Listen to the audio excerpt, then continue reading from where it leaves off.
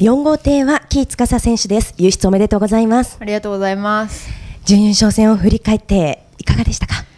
そうですね。めっちゃラッキーだったと思います。はい。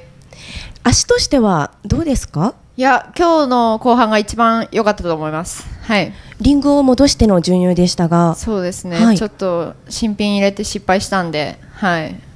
どのあたりが良くなってましたか？そうですね。新品入れて伸びも回り足もどっちもなくなったんですけど、元に戻して、はい、どっちもまた良くなったと思います。優勝戦に向けては何かさらに調整考えていることはありますか？そうですね。ちょっと台風の影響でどうなるかわかんないんで、まあちょっとその日になってみて、まあちょっと考えようと思います。はい、えーそして4号艇という枠番ですがいかがでしょうか？